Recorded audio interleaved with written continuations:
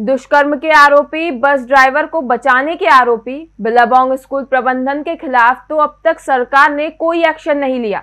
लेकिन वहीं बिलाबोंग के ड्राइवर का अवैध तरीके से बनाए गए घर को ज़रूर तोड़ दिया गया है।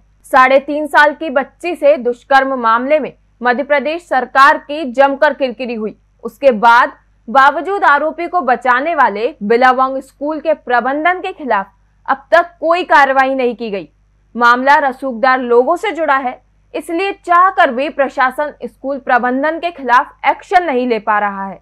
भोपाल कलेक्टर अविनाश लवानिया के निर्देश पर जिला प्रशासन ने बिलाबोंग स्कूल के अपराधी, बस ड्राइवर का अवैध मकान ज़रूर तोड़ दिया है। कलेक्टर लवानिया ने अपराधी तत्वों के खिलाफ कड़ा रुख दिखाते हुए इस मामले में एसडीएम को सख्त कार्रवाई करने के निर्देश दिए थे, जिस पर कोलार एसडीएम क्षितिश शर्मा ने बताया कि राजस्व अमले पुलिस और नगर निगम ने संयुक्त कार्रवाई कर बिलाबोंग स्कूल के बस ड्राइवर के अवैध मकान को तोड़ने की कार्रवाई की।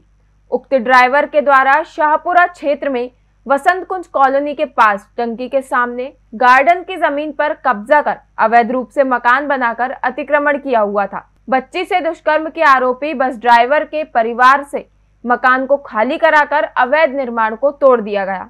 What starts here changes the world. The world of opportunities. The world of inspirations. We are LNCT Group, where every beginning changes the world, providing the best results, highest packages, and delivering the best manpower to the biggest companies in the world. LNCT Group. Choose the best to be the best. For admissions call 7440 777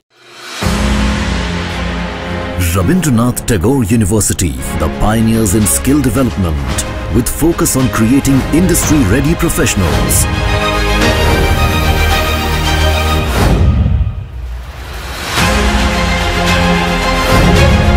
Join India's premier skill-based university, Rabindranath Tagore University.